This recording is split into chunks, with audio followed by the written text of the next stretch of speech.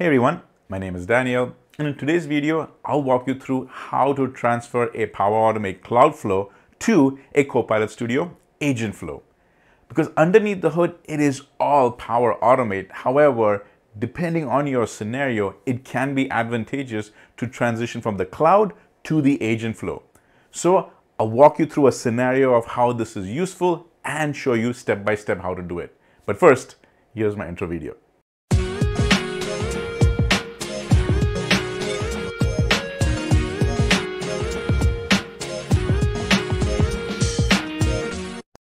So let's get started. Four months ago, I had released this video called How to Build Autonomous Agents Using Copilot Studio. And I've walked you through that step by step. In fact, the link to this video is in the description below. Now, a key feature of this agent is triggers.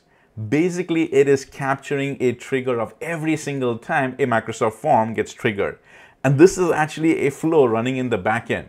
So what I'm going to do is this Power Automate Cloud Flow, I'm going to transfer that over into an agent flow. And some of you may be thinking, Daniel, why are you doing that? Like, what is the difference between the cloud and the agent flow? And I'm really glad you're thinking about that because here's why. So in my case, it was all about license consumption because I only have one Power Automate premium license and that does give me 4,000 runs per day.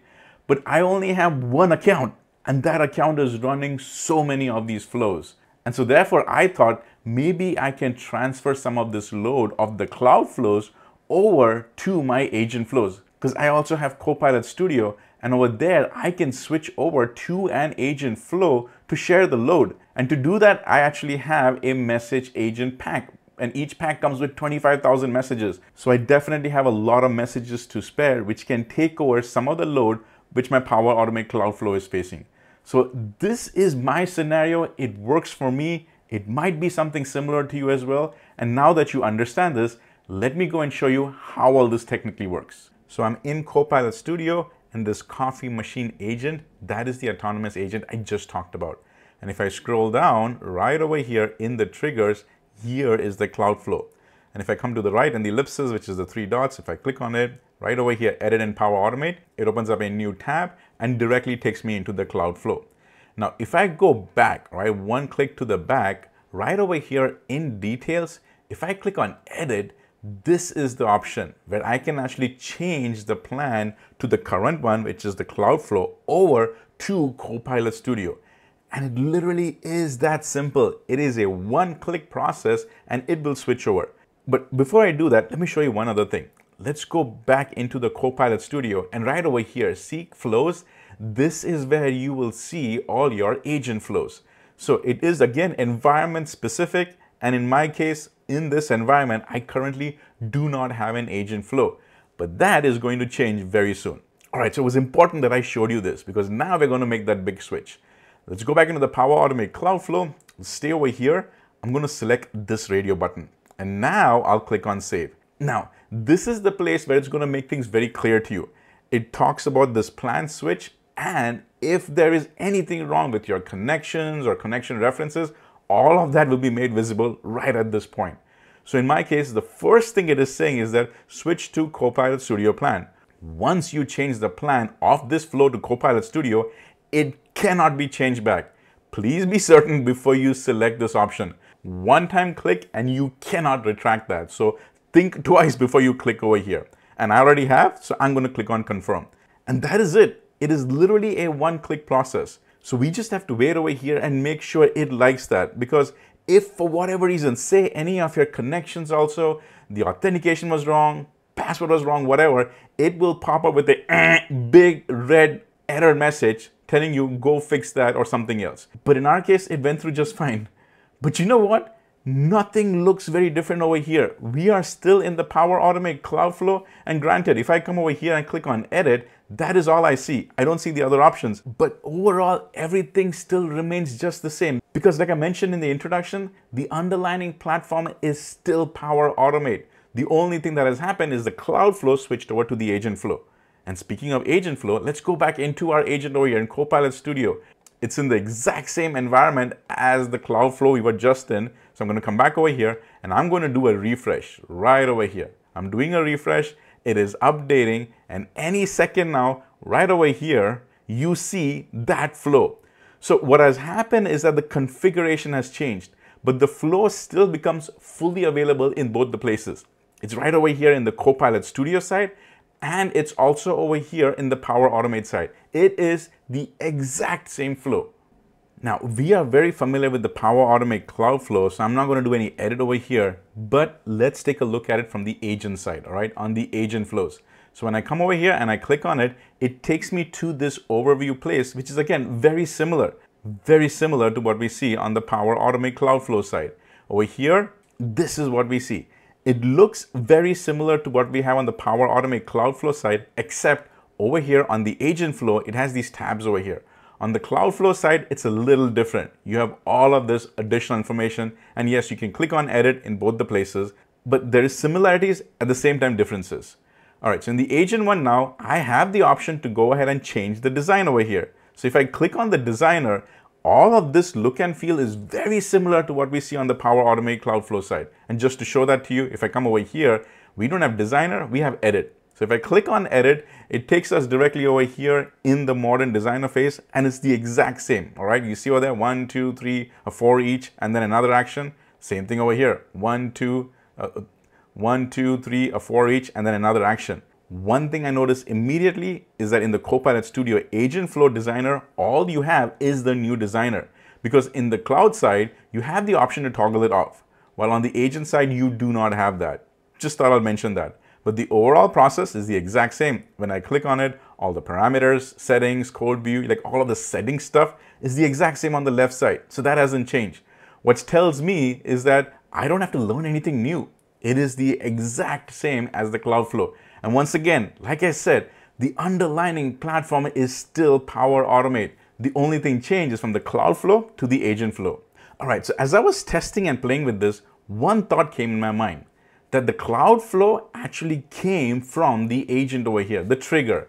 So I was wondering, is that the only way we can transfer over from the cloud to the agent? What if I actually build my own flow on the Cloudflow side? Can I bring that over here? Well, let's find out. So let's go back into our Cloudflow over here and try to replicate something similar. Uh, what I'm going to do is build a Microsoft form, go ahead and get some form information, and then I will try to go ahead and get this action. All right, so let's try that. I'm going to come out over here, outside. I'm going to go back into my flows. I'm going to click on the plus new flow. This is going to be an automated cloud flow. Here's the trigger when a new response is submitted. Select that, click on create it.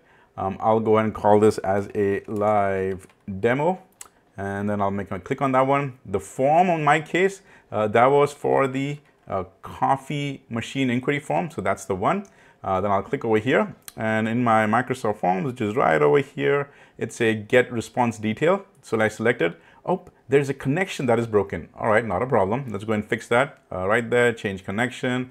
It is loading my connections. I'll select the first one, perfect. So I click on the drop down. All right, let me go and search for that form again, okay? It's the coffee machine one right there, perfect. Select that, click over here, grab the response ID.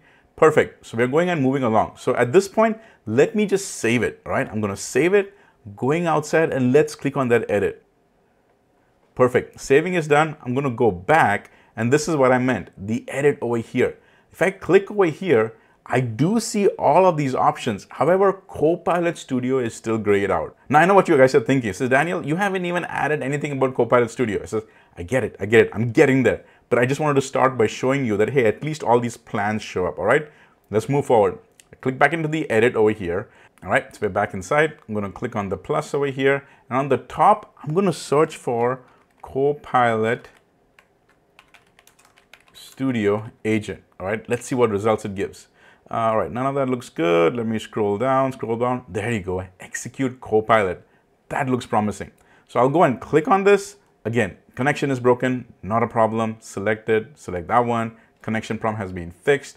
And for the Copilot, which was the one? Let me go back and take a look. My agent specifically was the coffee machine agent. So I'll come back over here and I'm gonna go and select the coffee machine agent.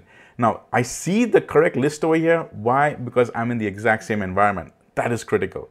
So I'll go and select that one. Uh, and if I go and do a side-by-side -side comparison, go back over here into the flows, um, take a look at that flow one more time just to see if there's anything else I need to add. Go back into the designer piece. Uh, when I click on that, it's got this additional things, right? It got, went ahead and selected the copilot, went ahead and selected the agent, and there's this additional one about getting the content. But now that I've added the correct action, let's see if things change. So I'll come over here. I'm going to go and make sure I click on save. Let the saving finish. Good. I'm going to go back outside. Right over here in details, let me click on edit and it's the same thing. The Copilot is grayed out. Now, if any of you have figured how to go ahead and build your own, please go ahead and put that information in the description below. I would love to learn how you did that. But from this testing that I've just done, I'm coming to a conclusion that the only flows you can actually go and enable this are those that have actually come from an agent. And those were a Cloudflow, which you can now switch over into an agent flow. That's the only conclusion I could come up with. And I know I spent a little extra time demonstrating this to you, but I think it was really important. All right, so let's do a quick test just to make sure that the agent flow is actually working. And for that, I need to come into this Microsoft form and just fill out some information over here. Uh, so I'm just going to randomly put some information so I'm just going to randomly fill this form out. Uh, my name, I'm actually going to go and say Daniel Christian. Over here, I'm going to say Dan daniel.christian at contoso, contoso.com. And the question in this case I'm going to add is, ask is, uh, do you have any coffee machines that are less than, uh, say, $600? Then say $600, okay? And once again, I've done a whole video on this, so go ahead and take a look at that video in the description below. I walks you through step by step how this autonomous agent works. Works really well. Um, so I'll click on submit. Once I click on submit, that should actually go ahead and trigger the flow. So we can see that in both the places. So if I come on the Cloudflow side over here, and if I cancel this off, uh, if I click on this refresh there, right, right there, you'll actually see that this just ran on this side. But the exact same flow is also on the agent side. So let's take a look at the agent. I'll come over here. Um, and over here, if I do a refresh, you will actually see that there you go, it actually ran. So clicking over here also goes and gives you the exact activity to see how this is going on.